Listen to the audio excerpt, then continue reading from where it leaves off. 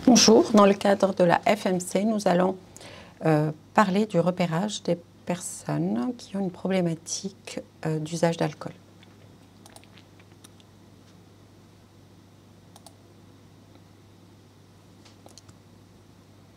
L'alcool en France est la, deuxième cause de décès euh, évitable après le tabac et il représente la première cause d'hospitalisation. Euh, en France, 41 000 décès par an et le coût social est estimé à 120 milliards d'euros, soit 6% du PIB, et les taxes ne représentent que 3 milliards d'euros. Il est responsable de près de 200 pathologies et traumatismes. Il est également pourvoyeur de 8% de nouveaux cas de cancer et c'est également la première cause de malformation non génétique chez les enfants.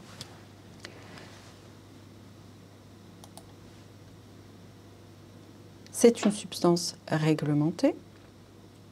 Il existe des recommandations de consommation à moindre risque. C'est le fameux slogan deux jours deux verres par jour, pas tous les jours. Euh, c'est-à-dire pas plus de 10 unités d'alcool par semaine, pas plus de 2 unités par jour pour les hommes ou pour les femmes, et avoir plusieurs jours dans la semaine sans consommation. Une unité d'alcool, c'est quoi? C'est 10 grammes d'alcool pur qu'on retrouve dans un demi de bière, 25 centilitres, 5 degrés maxi, un verre de vin ou de champagne de 10 centilitres. Pour les apéritifs, 7 euh, degrés ou du vin cuit. 18 euh, degrés euh, ou du vin cuit, c'est 7 centilitres. Pour les alcools forts, type whisky, vodka ou pastis, un doseur de 2 à 3 centilitres. En équivalent bouteille, pour une bouteille de vin, c'est 7 verres et demi. Euh, pour le whisky, c'est 22 verres, la vodka, 22 verres, le pastis, c'est 24 euh, verres. Les usages d'alcool et les mésusages, donc euh, l'alcool est largement consommé dans la population française. Cependant, une petite portion ne consomme pas du tout d'alcool, soit euh, c'est des abstinents primaires, donc c'est des personnes qui n'ont jamais goûté de l'alcool, par choix, convenance personnelle, culturelle, etc., ou secondaire. Des consommations à faible risque, donc c'est les usages à faible risque, sans conséquence sur la santé, avec des consommations qui rentrent dans le cadre euh, des recommandations. Les usages à risque dépassent les seuils de recommandation et se font dans des circonstances euh, dangereuses, par exemple prendre le volant et consommer, euh, prise de médicaments et consommer de l'alcool à côté. L'usage nocif, c'est les conséquences négatives qui sont là suite aux consommations et qui se répètent pour atteindre un stade ultime, ultime qui est la dépendance à l'alcool. Le mésusage d'alcool commence à partir des usages à risque, les troubles d'usage d'alcool dès l'usage nocif. Donc 10 millions de consommateurs français ont un mésusage, 5 millions ont un trouble d'usage, 2 millions sont alcoolodépendants et seulement 10% sont pris en charge par les structures d'addictologie. Le trouble d'usage d'alcool est défini par les critères du DSM5 avec 11 critères.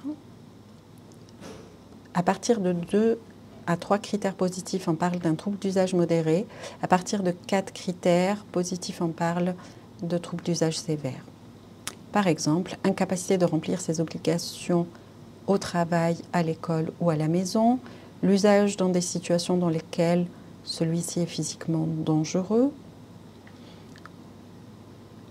l'existence de problématiques sociales, interpersonnelles persistantes ou récurrentes causées par la consommation et les effets de la consommation, la tolérance, c'est-à-dire le besoin d'augmenter les quantités de substances consommées pour atteindre l'effet escompté et les effets diminuent lors de l'usage continu. l'existence d'un sevrage qui, peut, qui est caractéristique de la substance et qui peut différer d'un individu à un autre. Et la substance peut être consommée pour soulager ou éviter les symptômes de sevrage. Par exemple, dans le cas de l'alcool, consommer de l'alcool dès le réveil pour soulager les tremblements matinaux. Un critère important qui est l'existence d'un craving ou d'un désir important, irrépressible, incontrôlable ou d'une pulsion à consommer.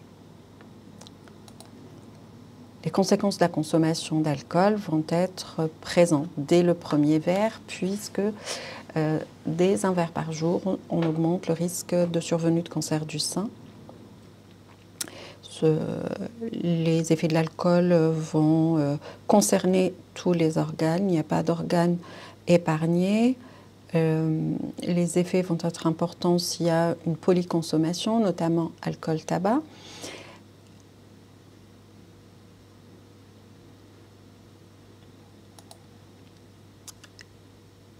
À l'hôpital, il y a un constat concernant les, troubles d'usage d'alcool, c'est que 20% des personnes hospitalisées auraient des problématiques avec la consommation d'alcool. 7% présentent des pathologies liées à l'alcool lui-même, ce qui correspond à 1,3 million de séjours hospitaliers par an. Un tiers des passages aux urgences sont dus à un mésusage d'alcool.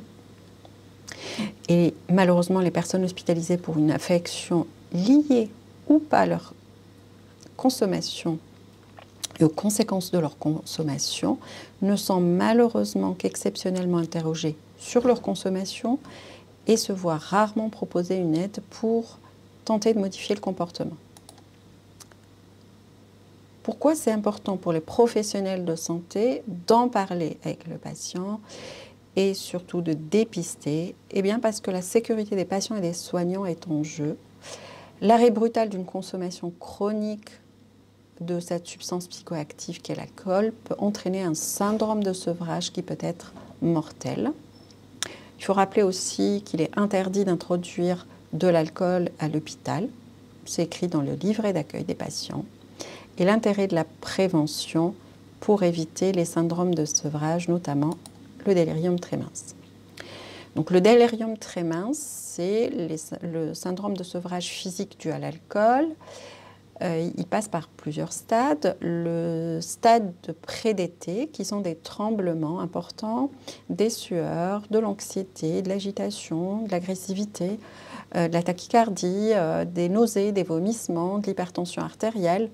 Important de les repérer pour pouvoir mettre en place un traitement adapté et éviter le passage au délirium mince, qui est un syndrome confusionnel important avec des hallucinations, notamment des zoopsies, c'est-à-dire des hallucinations avec des insectes, des animaux qui, c'est des, des, images un peu cauchemardesques, qui peuvent entraîner et euh, évoluer euh, pour euh, se terminer par des convulsions, voire un état de mal convulsif et entraîner un décès. L'importance de la prévention, du repérage et de la mise euh, en route précoce du traitement qui est une hydratation, une vitaminothérapie, une sédation par des benzodiazépines euh, précocement et arrêter aussi rapidement pour éviter le mésusage et de créer la dépendance aux benzodiazépines. On utilise euh, l'échelle de Cushman pour traiter le syndrome de sevrage avec un, score euh, quand il est inférieur à 7, l'état clinique est contrôlé, il n'y a pas de symptômes de sevrage. Entre 7 et 14, le sevrage est modéré. Et au-delà de 14, c'est un sevrage sévère, donc c'est important à traiter, notamment par des benzodiazépines toutes les 4 heures. Il est important pour chaque professionnel de santé de repérer le risque d'usage d'alcool et d'adapter son intervention. On passe par une phase de repérage, de pré-repérage, pardon, en posant la question à, aux patients à chaque rencontre, quel que soit le motif de la consultation ou de l'hospitalisation, vous arrive-t-il de consommer de la, de la bière, du vin ou toute autre boisson contenant de l'alcool? S'il n'y a pas de consommation, fin du repérage. Y a consommation, utiliser des questionnaires de repérage, euh, l'audit ou euh, le questionnaire FACE. À quelle fréquence vous arrive-t-il de consommer des boissons contenant de l'alcool?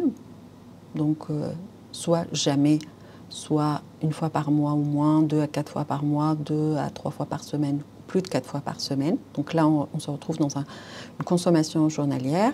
Combien de verres standards buvez-vous au cours d'une journée ordinaire où vous buvez de l'alcool? Un ou deux verres, trois ou quatre, cinq ou six, sept à neuf, plus de dix.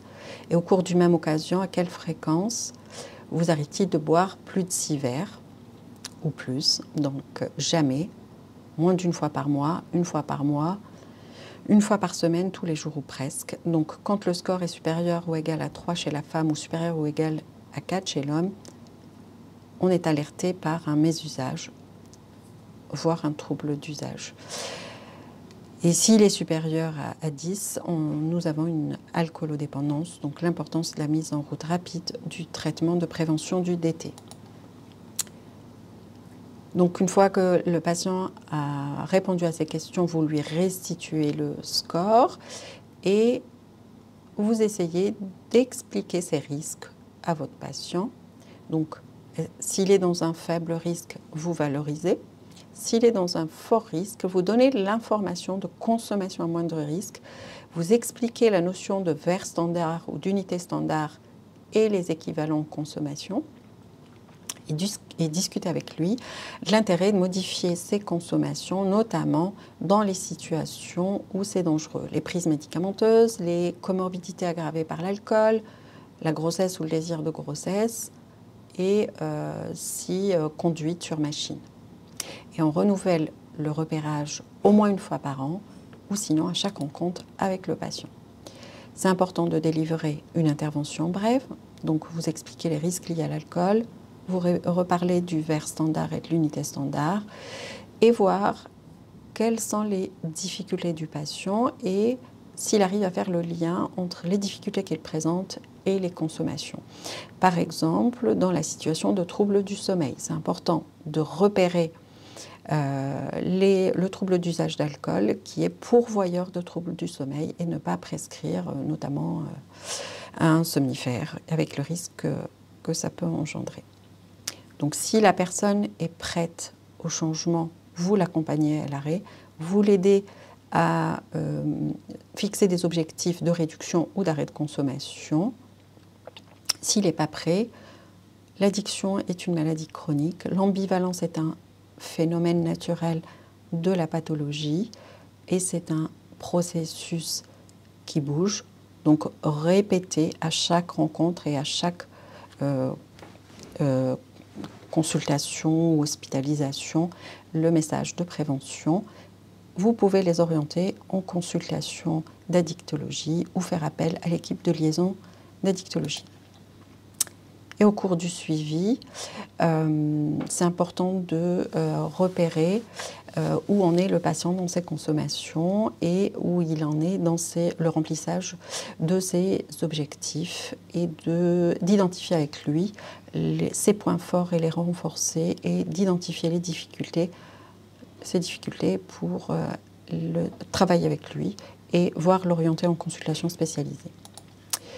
Quand est-ce que vous pouvez contacter euh, l'équipe de liaison ou l'équipe d'addictologie euh, dès l'entrée du patient après repérage de la problématique addictive? Il est rappelé que l'équipe de liaison d'addictologie n'est pas la prise en charge euh, de l'urgence somatique, par exemple le DT. Hein, ça relève de tous les professionnels de santé qui sont en charge du patient. C'est une urgence, donc c'est important de le traiter rapidement et de le dépister pour le traiter. L'équipe de liaison, elle est euh, au pavillon H deuxième étage et elle assure une permanence tous les jours, du lundi au vendredi, de 9h30 à 10h30 aux urgences. Comment vous pouvez contacter l'équipe de liaison? Par fax ou par mail avec euh, la demande qui est sur Bloomedy et contacter le secrétariat du lundi au jeudi de 8h30 à 17h30 et le vendredi de 8h30 à 17h et vous pouvez laisser un message sur le répondeur qui accepte les messages. Merci pour votre attention.